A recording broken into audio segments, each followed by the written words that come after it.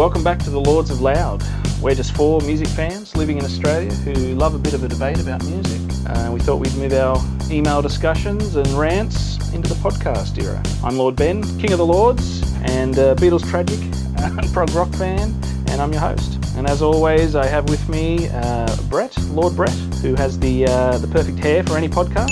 I have with me Lord Al. He's the uh, he's a living anachronism, a man who loves Seal and Slayer. Best of both worlds. And of course, uh, we have Lord Kev, and it's not really his accent that makes him hard to understand.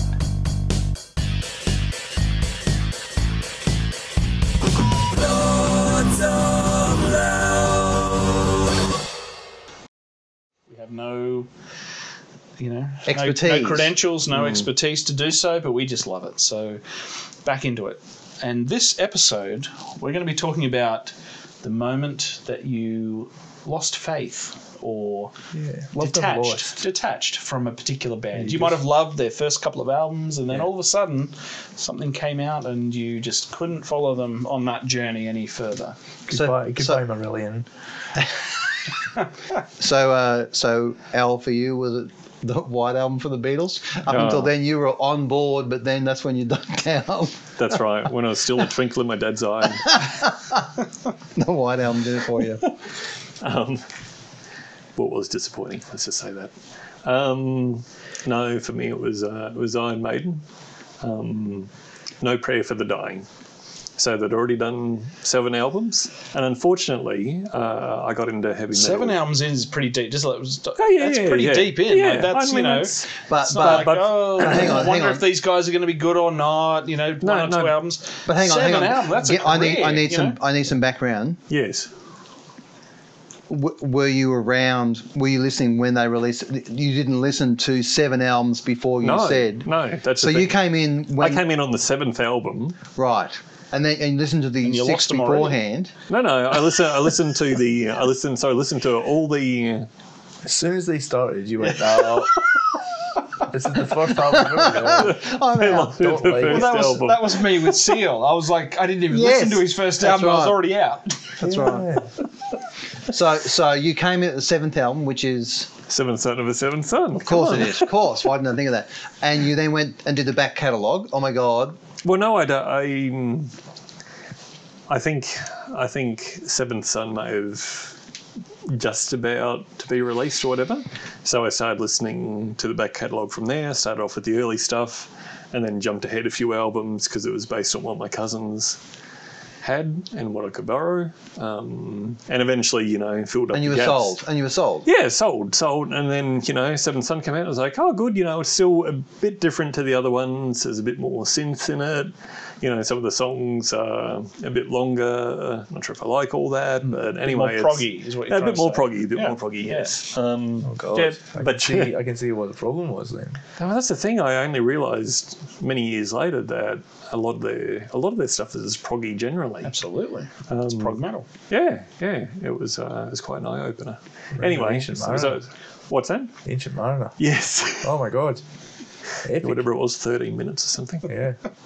Um, I should have seen. I should have seen the signs. Um, but yeah, then um, No Prayer for the Dying came out, so That's You their know- eighth. That's their eighth album. that was their eighth one, and What year are we talking? 1990. Right. So I was, you know, still in high school, so it wasn't like I'd totally grown out of, you know. Yeah. Metal or anything. It was just like Still had some angst. yeah, still had a little bit of angst Yep. there. Um, and uh, yeah, this came out and it was a different sound. It was harsher, rawer. The singer wasn't singing as well as he used to. Wasn't as operatic. not as operatic. Um, Operatic. Iron Yeah. Maiden operatic. Okay. yeah. Again, you just They dropped off. They dropped off the proggy stuff. They went. they Yeah. tried to go a little bit too thrash. They Yeah. Trying to catch on to that new thrash sound. Yeah, Oh, that's really? the thing. Did Yeah, yeah. mean, I mean, grunge. well, I the sound, no, no, not grunge at all. It was, no, it's just pure, yeah, British heavy metal Okay. type of thing, and it was yeah, um, that, that's what they'd been. They'd gone proggy, but then yeah, it was just this really stripped back, ugly sound to it. Uh, like the sound that they'd had was, I guess, a little overblown by the time they you know, had finished with the uh, the seventh album, but then it just all went to shit. It's kind of like Metallica did as well. It's just like they had this great production for a little while with uh, Bob Rock and the and the Black album. Um, and then it, yeah, that has progressively got worse as they were trying to find a new sound. Yeah, I think that's often for bands. It is uh, it can often be signalled by a change of producer, or they'll hit a certain level of of you know uh, fame or you know like um, popularity, and go okay, we need to do something different now, and Yeah. you know move into a different direction or whatever. So it's, Yeah, I mean, you can't blame them for wanting to find something different, but it was Sure. just a point where it's just like, yeah, no. But you're going to get yeah, you're going to get you're going to isolate some of your audience by moving in a Yeah. different direction all the time. You know. And, and I mean, pa- past that point, um, I stopped listening to them. Um, just generally as well, because musical tastes change, whatever. So I look at some of it now and it's like, well, it's, it's quite silly, really. Um, uh, there's still, you know, like uh, just about every song that I like is on their Live After Death double album. And I think I bought like two extra songs on top of that because it's like, okay, well, that's pretty much all I like and the first maybe the first two albums as well. So So, so you sort of feel that, you know, that seven albums, those first seven albums were enough for you. Like, Yeah, like, like think- you know, that's you- you're almost saying, because in my head, that's pretty wild that they can put out seven albums Well, and, you, and you to feel comfortable that you would ha- be happy listening for the rest of your life only to those seven albums. but but that's the thing. Like I uh, I couldn't listen to all seven albums now. I still It's still of a time, in in like your growing up, you know. yeah yeah. But So but it's I almost mean, like at that confluence of you know, the album wasn't quite what you enjoyed about before, but also. Yeah. The metal thing is more of a younger person thing, or whatever. yeah. And I mean my taste head, would have just been go, "I'm changing out." as well. I'm out, you know, Yeah yeah. for what? so you're not as angry anymore. Well, that's the thing. I mean, Iron Maiden were never really angry music. Nah. Um, I mean, some Me- of the metal's like play Not angry, lyrically, isn't it? Like it's yeah. it's kind of like fun angry. It's Yeah. like oh, we're getting a room and put on leather. the- but yeah, it's yeah, not real. thing- I, I mean, You know, lyrically, not- there was nothing that was kind it's of like ah. political. It's not. Yeah, but the know, thing as a as a prog fan, obviously, clearly, the thing I liked about metal was was the more theatrical type of metal, the more storytelling, the more. Yeah. you know, building up sequences of songs, like more proggy metal stuff, like Yeah. where it was telling a story over over multiple movements. Hmm. Uh, yes, it was heavier. Yes, it, you know the guitar obviously you know it was all a different sound, but it was it was still taking you on a journey from point A to point B, and you know there was a there was a sort of uh, often a lot of either sci-fi or fantasy lyrics involved in the in the stuff, and yeah, some and and the thing about metal is the virtuosic virtuosic virtu what's the virtuosity it- virtuosity Vi- viscosity. Virtu- viscosity Yeah. the virtuoso playing of Yes, the, yeah, yeah, uh, yeah. you know of the performance Of so the, of the of the idiots in the in the band. Yeah. yeah. so it's like um yeah I, I, I think there is a lot in common with with prog rock and and metal obviously. I mean it sort of evolved out of that. But um, then then I think in the 80s you turn it, it became more of that. I think with the post punk stuff became you t- it started to turn into thrash. It tur- started to turn into I hmm. think metal saw this thing where okay we have to distance ourselves from that sort of storytelling element and the sort of that sort of prog element. We need to start being more authentic more sort of just raw hmm. yeah, which which I think eventually developed into into sort of your more thrash type. You know, obviously you had your branches off with your hair metal and Yeah. which came from sort of Oh, glam yeah. and that sort of stuff but, numerous uh, genres. but I think there were certain so. yeah and And then, I have to say, like that's one of the things I just love about metal. Like I love it. It's almost mathematical in its Mm. in its divisions. It's it's uh, genreism is just so fantastically unending, right? Yeah, and you yeah. can say you can say all you want about um ah, however cool or uncool the music idea is, Mm. but I just adore the fact that there's unashamedness to it, like and how all this classification. yeah, and, and people just go like, you know, there's there's a great there's a great genre I love, which is like basically operatic metal, and it's really popular in like Nordic countries and stuff, and it goes back to their like singing traditions, Yeah, beer hall traditions, But this is- and so they have these guys writing these sort of operatic, sort of. Um, uh, you know, sing along things. They're basically writing songs Yeah. that everyone in the room can like, oh no no no, you know. Yeah. Uh, but it's a metal genre, right? But, but that's, Yeah. that's the way I see. There's no coolness attached to it. It's just like everyone's just like, "Man, let's go for this. It's fun. But in a lot of ways, in a lot of ways, yes, there are all there is as many facets to metal as there are to say just straight rock or whatever. Like Well, it's a bit like dance music is. I almost that's the see other place that I see where there's so many Yeah. subgenres. Yeah, yeah, yeah. but I almost and you- see that everyone takes it very can see seriously. where you- what, where the line breaks. that's it, but I almost see metal of, like with dance music, how yeah as being a mirror the of traditional rock, but with a with almost a, a dark tint over it. You know, like it's like let's take a mirror of normal rock. You've got progressive. You've even got like folk rock. You've got different. You know, you call it punk. We call it thrash. Or, yeah, like Yeah. you've got this thing. You've got this sort of. You've copied a branch of like all this branching of normal rock. And then, but you just overlaid this sort of dark tint hmm. over the top of it. Almost like a metallic tint. A metallic, a Hey. metallic tint, if you See will. what you did there, bro. Yeah, yeah. the shadow. a shimmery, a shimmery ah. tint over it. Sorry. But it's almost like that. It has. It's like its own. It's like the. It's like the web and the dark web. It's like its own Yeah, yeah. mirror of what's going on in the rock world, but in a in a darker form and in a. They can get you Viagra. That's right. Yeah, I Or, like- or arrested. So, so you, you, you, you know, that's the interesting thing about bands that you, you, you leave behind. I mean, I've certainly left bands behind in my youth hmm. that I don't listen to anymore, which is different from maybe, maybe it isn't actually. But, Stuff okay, did, you- did you- you you- leave them behind because they changed direction? But you look or back now and you go, "Oh, I was a bit embarrassed to, to even like you just them didn't in the need them first anymore. place." Did you move on or did they move on? Maybe that never changes. Maybe it's just you know your perspective of yourself at the time hmm. that you're thinking, "Oh, I'm more astute now. I'm more like into this. I'm more into that." Like, There might just be a trigger that you kind of like, oh, or, or just coincidence. and I've done some sort of um, retroactive listening to things. You know, I've gone back and listened to say bands like Simple Minds, who I, I loved, man. You know, for a couple of very seminal years in high school, uh, primary school, even. You know, like that. Just discovered them. I'm like, oh, these guys are amazing. I really, really want to be into this, and you know, got right into it for a bit. Uh, and like the album itself kind of doesn't, you know, you know, click anymore. But Yeah. I've already left that so far behind. It's not really. Yeah, it's more. I guess. I guess the idea about this is like what Alan says. Like after a certain point, after loving them for a few albums in a row, you just go, ah, "I'm out." You know. And, and I, I always find it amazing that that it can be so final, and and it's almost to the point where who cares what they did after that?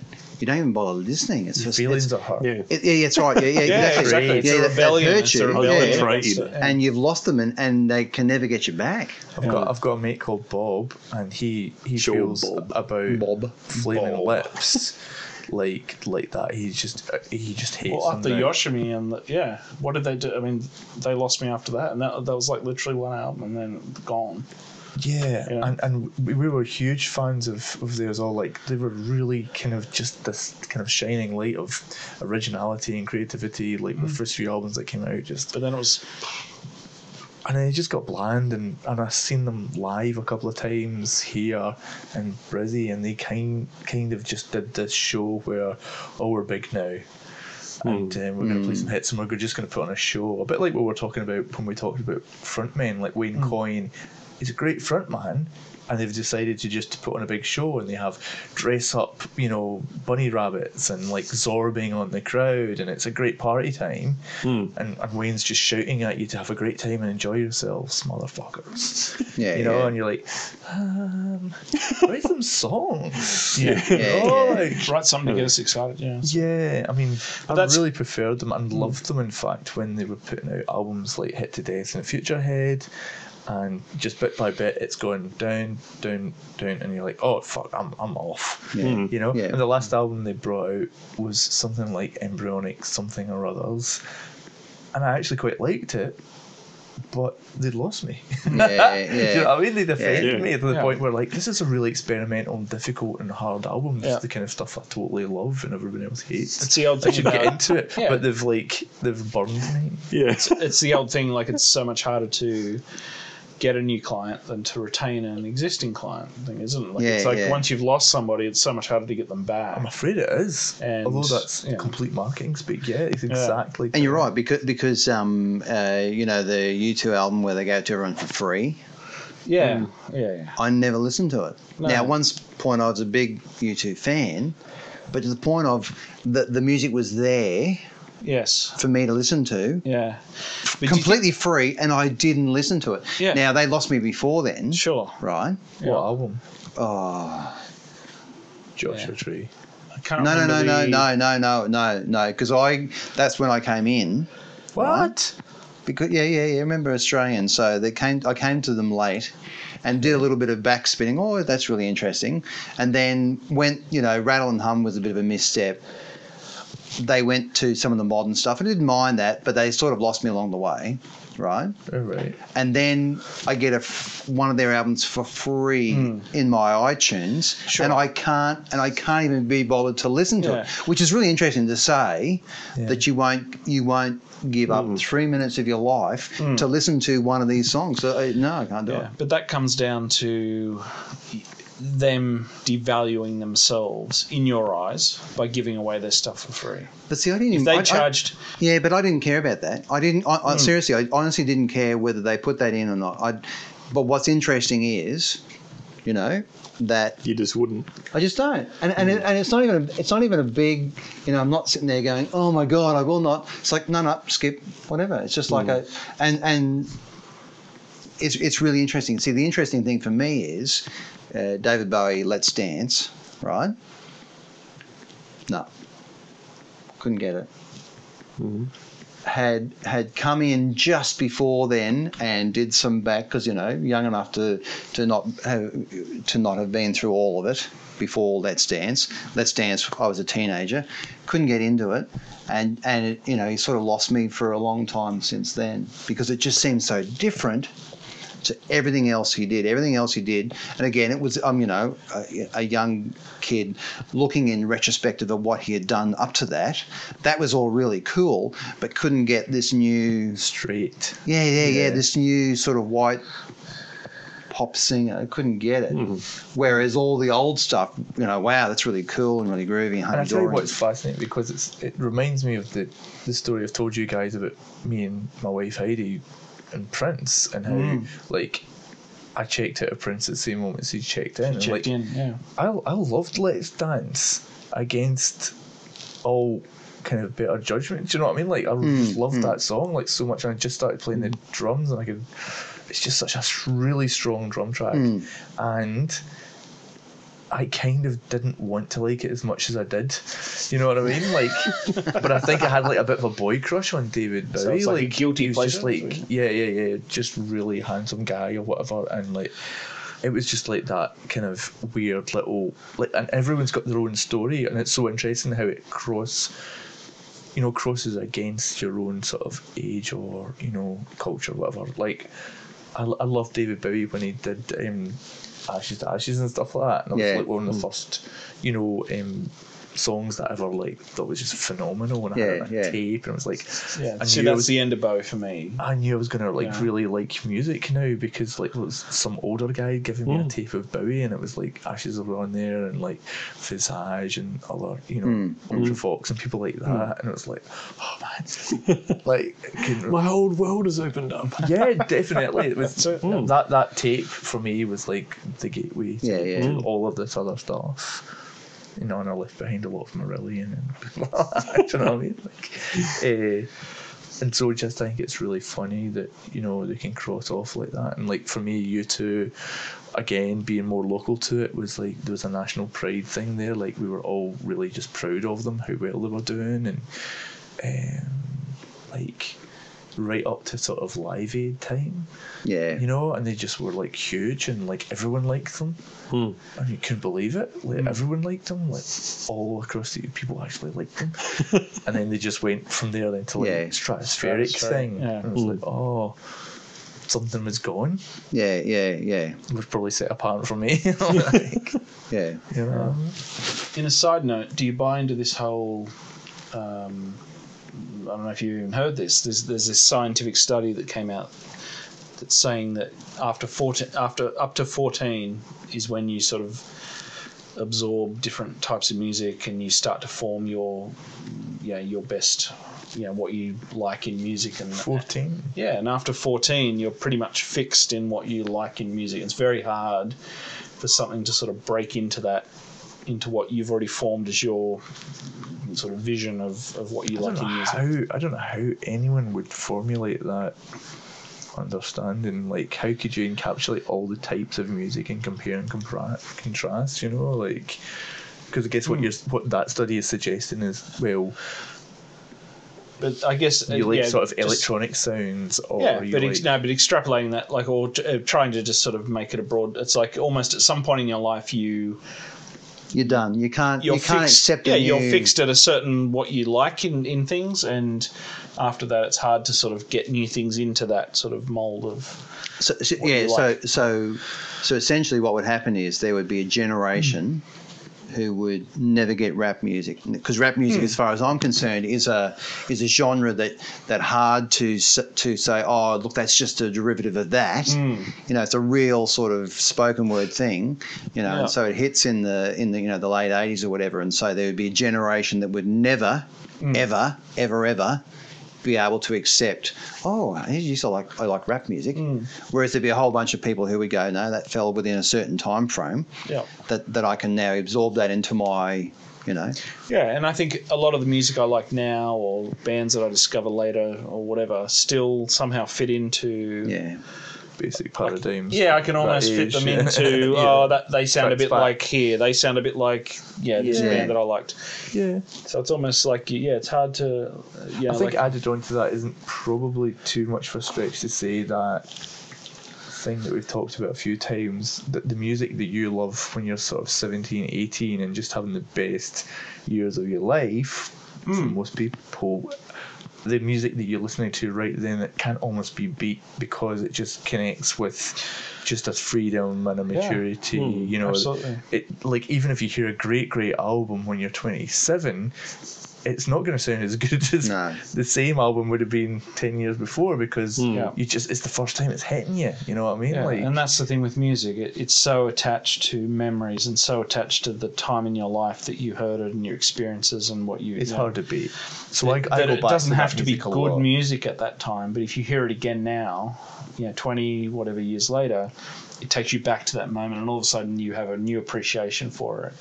Like I hear pop music from the '90s, which was atrocious at the time, you know, but I hear it now, twenty years later, whatever, and you can't I, help but feel nostalgic. and I go, ah, you know, I just didn't. Ah, it's shit. actually not that bad. No, but it's you know it's crap, but you, in, Ah, the old locomotion. but at the same time, you know it's crap, but at the same time you're going, ah, but this takes me, yeah, ah, it's, it wasn't as bad as I remember. You Yeah. know, like you sort of have a revisionist view of, Yeah. of you know, Well, that's why it was funny, like going back, back and listening then, to say Simple Minds or say Frankie Goes to Hollywood, and sort of listening to it more critically, um, and finding out that the stuff that they did that was more the electronic side, and I'm talking about Simple Minds here, like New Gold Dream, it's like wow, that was really great, and that was some of their earliest singles, rather than what they did and went on and did kind of pseudo U2 stuff. Their earliest stuff was aping a kind of ultravoxy. well, that um, sort of new wave sort of, synth- yeah, synthy that's stuff. right, yeah, synth, It was yeah. really kind of beautiful and pretty and kind Mm. of um, proto dance music, and yeah, I mean, it kind of surprises you to find that. Like the first twelve inch I ever got was Frankie goes goes to Hollywood's Welcome to Pleasuredome, Hmm. and I'll stand by that record as just one of the most incredible things to bring home and stick on, and it's got like a. You know, five minute intro to it before the bass. yeah, yeah, yeah, yeah, and when it does come in, there's this bass line that just like hits you like a ton of bricks, and Mm. you know, and I'll listen to that over and over, like Yeah. even now, and so I just feel so lucky that I s- still think that's a great record. Mm. Like I'm just, you know, I certainly bought lots of shit records. But don't but don't you think um, that that that would be the same of each generation, right? So in twenty years' time, your kids will be going, oh, you know, what a great song. That's, you know, isn't it great that I still love that? Um, you only have to look at YouTube comments, yeah, yeah. and it's all like, "These were the best time," and it's all the fans of the Stone Roses that were yeah, at the yeah, show. yeah, Yeah, yeah, yeah, Of course, Because, because you know, you, you know, I mean, um, you know, kids these days don't. You exactly, know, yeah, you know, and you sort I'm of, not you sure know, you appreciate it at the time. A lot of the time, though, as well. Like, no, no, and no, also, no. I think there's pe- particular people who grow up, and I think Kev, you're one of the people, and Alan potentially as well. Like, Potentially. probably Brett.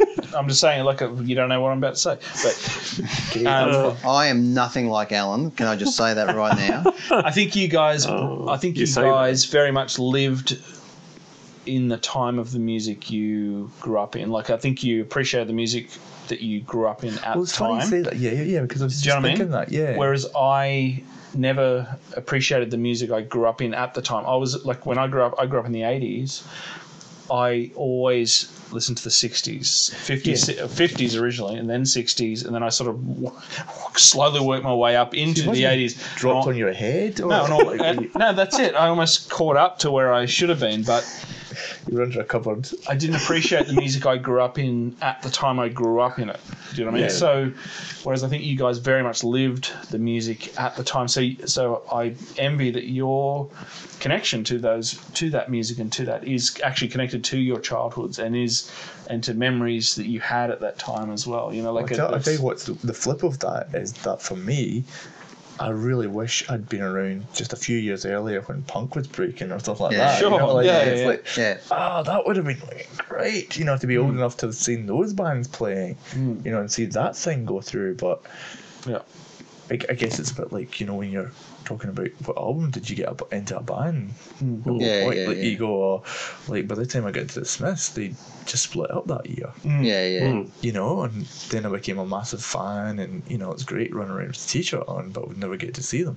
yeah, Yeah. But at least you were at least contemporary to when Whereas they you were, were, at their like, peak. Whereas I, when in I high got into Smiths your- in like the nineties, you know, like Or, or You you, know? had your Elton John LPs. that's on. it, yeah, mm. that's exactly right. So it's like you know, it, it- but that again, I think it's just it's such a great thing about music that you can. Well, it is it's- timeless, Yeah, and you can really a bit different. you can explore it at different times. But I, I do envy those people that, that did appreciate, and I, I guess I got to do that with uh, grunge. You know, I think that was the one movement that I actually did live, did See it coming live, and appreciated yeah. it at the same time it was happening. Yeah. know? Whereas just about every other movement I, I, I you know came into it late or I didn't you know I was I was, I was looking at I was Hmm. focused on other periods of music when it was happening and didn't come to it till you know later in my it might be something we could talk about that zeitgeist thing. like, yeah I think when, when did when did yeah. everything just like coalesce for you? Yeah, you find yourself Yeah. right at the right. now I'm in the yeah exactly. You know, Yeah. you felt like I'm you were. here. I'm in it. yeah I'm at the forefront. the wave is breaking. Uh, and- Because for me, it never happened, right? So No, no. you know, teenager in the in the eighties. I find it hard to believe, Brett. they'll, they'll drop soon it just never happened. I've heard 50s the Picked up new my 20 saxophone and I just got in a Uh, band and Uh, did so- the Stuck in bebop for the next 40 years. Right, so fuck yous all. Um, no, no, but but you know, uh, uh, in high school, all throughout the eighties and the early eighties, right? Didn't didn't appreciate it, It kept you Right. back a bit. and and and haven't yet. You know, so lots of eighties Haven't appreciated nostalgia. the 80s, yeah. yeah. yeah, lots of eighties nostalgia. really. You know, oh, I love this stuff. It's really cool, hmm. and I'm still going, nah. You know, get it, for me, it was What's always. this newfangled music? You were always What's this synth looking crap? a couple of decades back. Yeah, yeah, yeah, yeah, yeah. Who And- is and- this Duran Duran? That's not a saxophone. Bobby Keys, man. Thank you. Um, but, that, but yeah, but so so not living in the moment and haven't got to the point where I go, hey, that was really cool. Yeah. You know, the Thompson Twins and Culture Club, you know, that Yeah, was awesome. How awesome. The Bronski beat. Yeah No, no, no, haven't gone. yeah That's really cool. So I know I know you really do, yes and my wife really does. But I'm Yeah. at the moment still going no. So Still waiting you're, you're waiting for your I'm waiting for it. I'm waiting for to it. come to you. I'm waiting for it to, to come in. Right, right. The, yeah. the, the, the problem for me is there have been very few bands where I've gone. Uh, where they are now is where I'm at. Of yeah course. Yeah. So do you feel? Yeah. Do you feel there was ever a band that hit that you felt? Yep. I'm on board at the time they're Yeah, popular. but but the problem is, you know, and for me it would be the Black Crowes. It's only because Yeah, they, they were 1970s. They were 1970s early, sound. Yeah, you know, stadium Yeah, rock was where I was at. Sure. Jeez, And I so- thought Alan was weird. Yeah, that's really. Yeah, yeah, yeah. That's quite out there. Yeah. Yeah, that, that, that, that- yeah, that's not, and that, and so had they been, you know, whatever, no, it wouldn't have happened. But because Hmm. they were nostalgic enough at the right time for me, then hmm. it would just, Sure. but, but So it do don't think, sort of feel. you think like- Radiohead was the same for you in that way as well? I came to Radiohead late. yeah. Well, not Completely not too late. late, didn't you? Not too late. I mean, I don't. know. When did you get in? When did you get into Radiohead? The, the big thing for me is because I was always trying to work out because OK Computer was this massive album and, and I didn't get into it. Mm-hmm. Uh, was the year I got married, right? So just missed, and in fact, it was the month I got married was when they dropped Ah. it. Missed it completely, just too busy or whatever. Yeah. And came bet. into it, came into it about ten years later. Thank you, thank you. really busy. Um, so came into it much later on, and then went back and thought, wow, that was really cool. Yeah. So again, you know, not really, you know, not never really there with a when it, when it's happening. Yeah, well, I, it took a it took a friend of mine to say to me because I yeah at that when radio like just going on Radiohead quickly just for a little bit because that was probably the band. You know, if we're talking about bands that you know lost you at some point, whatever, then yeah, Radiohead unfortunately lost me after probably Kid A, I'd say Amnesiac. I did like Hail to the Thief. That's where I came back in. Hail to the Thief. KD. Kid A, yeah. I went away, I come back. Um, but I was like, oh, hello. that, yeah, for me, Ben. they Where are you off to? I felt like I was part of. I felt like I was almost, yeah, matching up. I like I I was into Oasis. You hmm. know, hmm. I was into the Britpop sort of stuff. You know, t- generally. You know, I th- I felt like I was. That was the first. I think Britpop in the the early '90s Britpop or the mid early to hmm. mid '90s Britpop.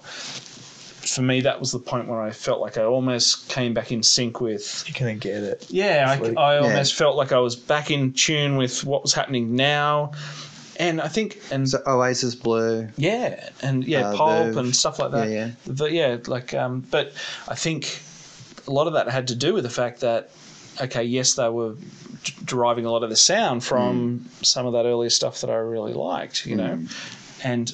I love Oasis, and I think they they were fantastic. And I, to this day, I think they, were- they were fantastic. I think they took it to another level, but hmm. they were certainly derivative. You know, a lot of those bands were derivative of the original Britpop Yeah. sound. You know, and that's fine. You, you know, everyone builds on top of everybody else, but I think so. At that period, I thought, okay, yeah, I'm I'm back in tune a little bit with what's actually happening, sort of right now.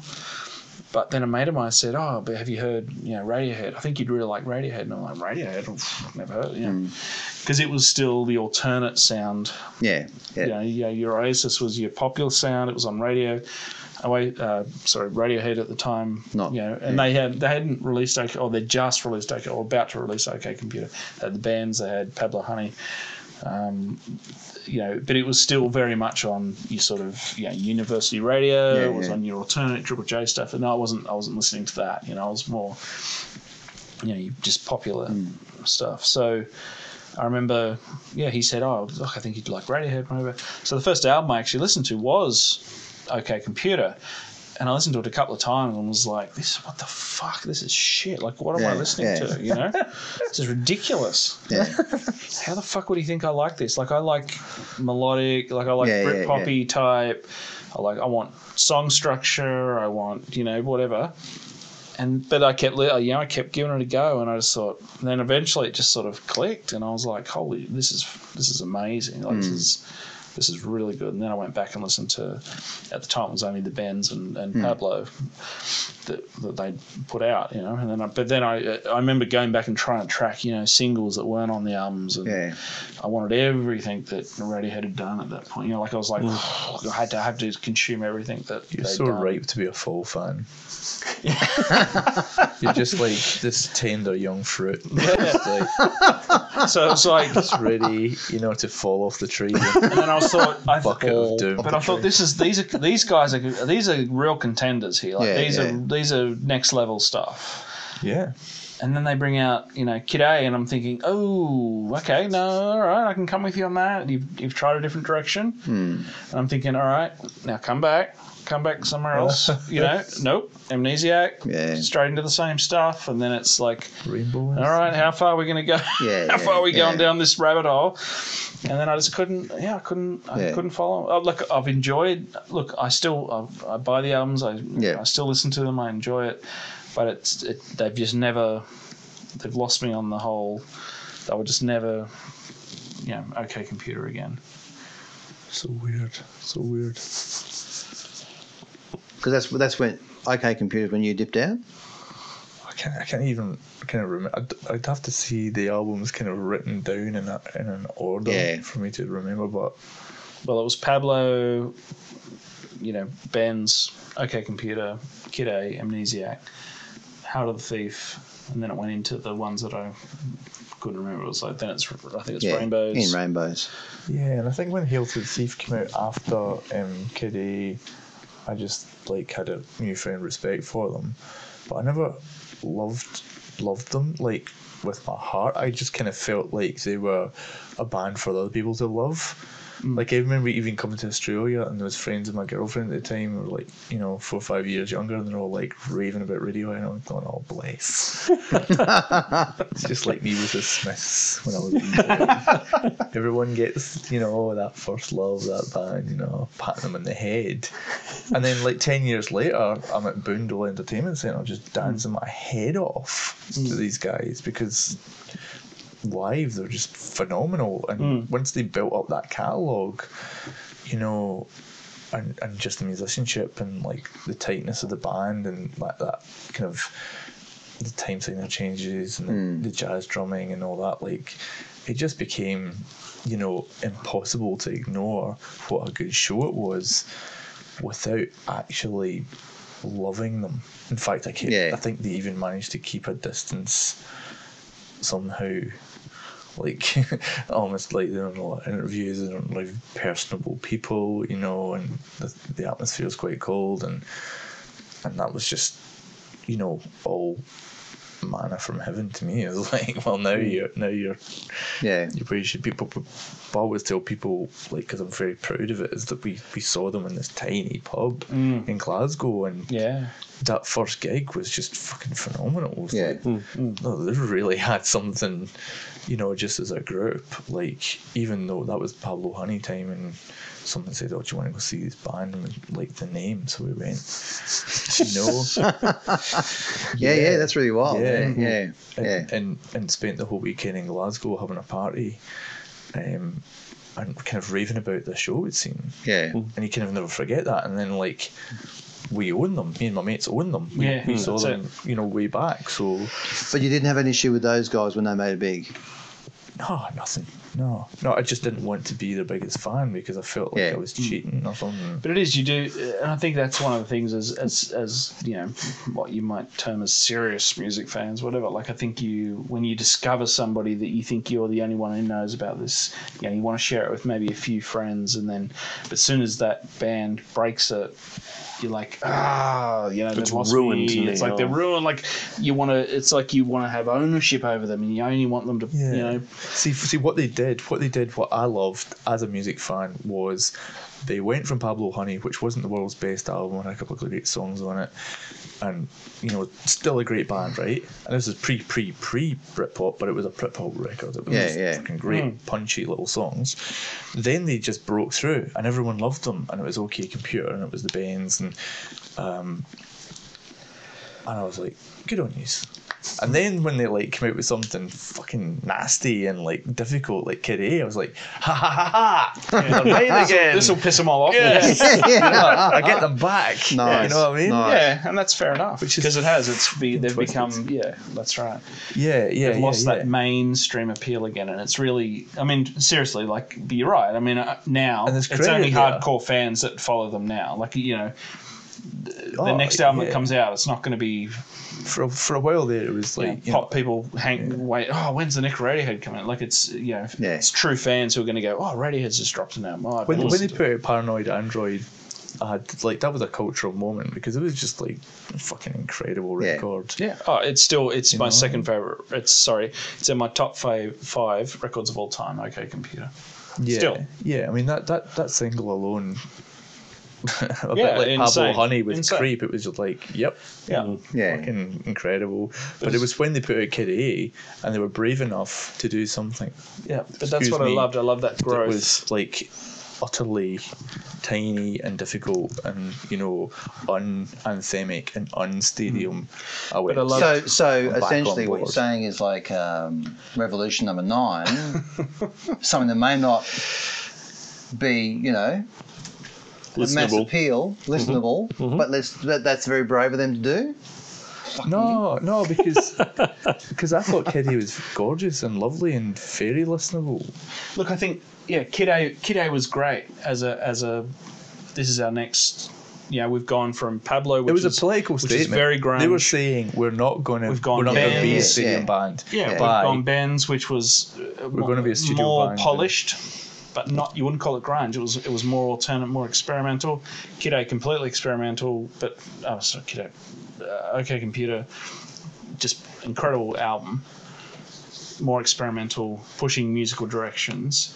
Kid A, yes, we're pushing it even further, but then it just sort of like there was this progression and I just thought, holy shit, these guys are contenders. Like they could take the mantle from someone like the Beatles.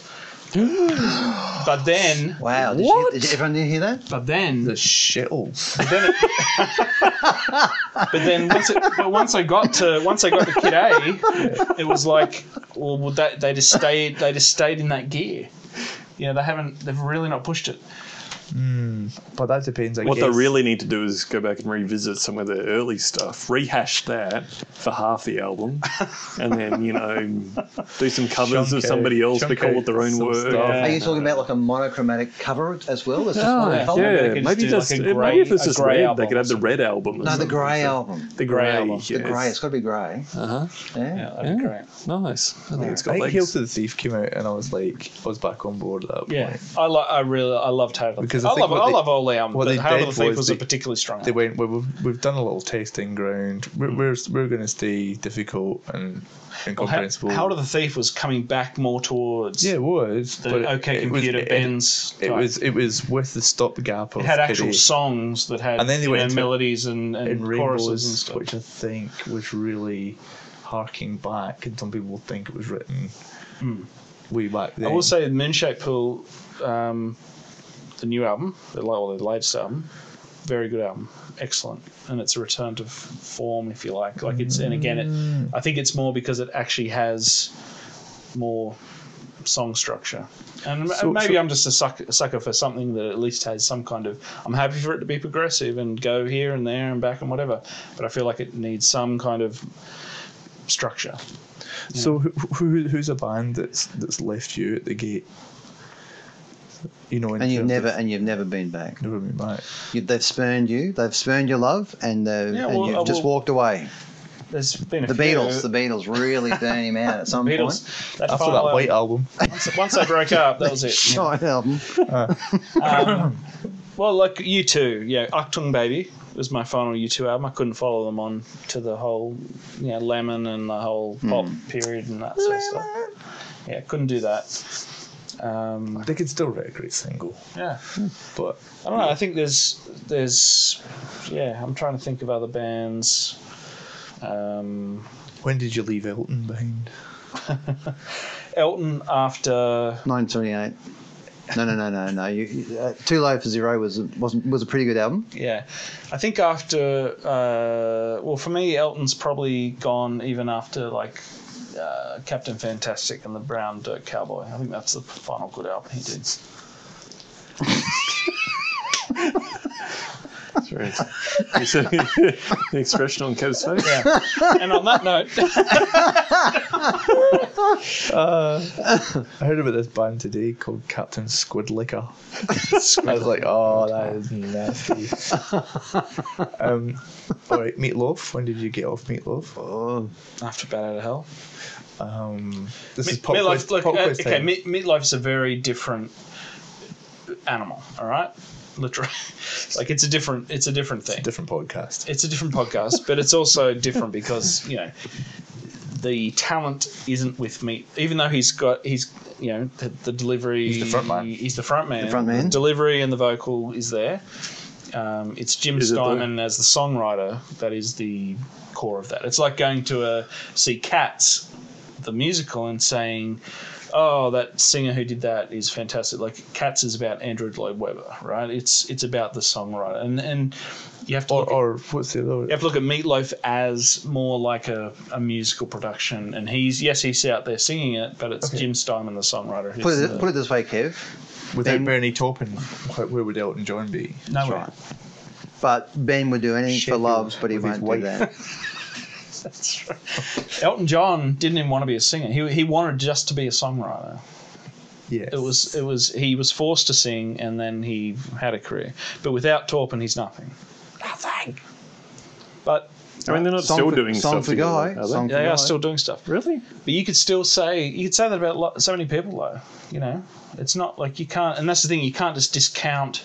Like you can go, I, I, I can say, oh, Meatloaf be nothing without Jim Steinman, but Jim Steinman would be nothing without Meatloaf. He tried. Jim Steinman tried to have a solo career, he couldn't because he needed someone to deliver that. You know, They're- like if they're both nothing with each without each other, I'm just thinking, aren't they nothing together? It's like zero plus zero. that's the is No, mathematician coming out of you again. Yeah, No, no, no, no. Bonnie Tyler, mate. Bonnie Tyler. Bonnie Tyler. Bonnie Tyler. Yeah, written by Jim Steinman. Yeah, she Yeah, wrote Total Bonnie Eclipse Tyler. of the Heart, written by Jim Steinman. Eclipse of the heart. One of the Uh-huh. great, great, great songs. Yeah, yeah, it's a it's a lovely '80s ballad. so maybe Bonnie's got something. She bought something along for the party. They both, had, they both had hair at some point. Anyway, I think we better tie it up there. We're, we're running, running, Running long, running long. So Hard to believe. thank you very much for listening, and uh, join us again on the next amazing adventure. of